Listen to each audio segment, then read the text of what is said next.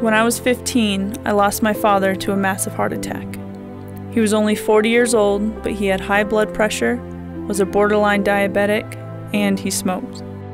We all have our stories and our reasons for wanting to stay active and to be healthy. My name is Brianna Doby, and I'm the CEO and founder of Synergia Effect. Synergia Effect is a 501c3 nonprofit that was started with the mission of supporting the health and medical welfare of the public through a mobile application that will turn your physical activities into charitable donations. Each time you lace up for a walk, run, or bike ride, turn on the app to track your mileage. For every mile you complete, our business partners will pledge financial support, and that will go towards health and wellness institutions' research efforts, patients, and more.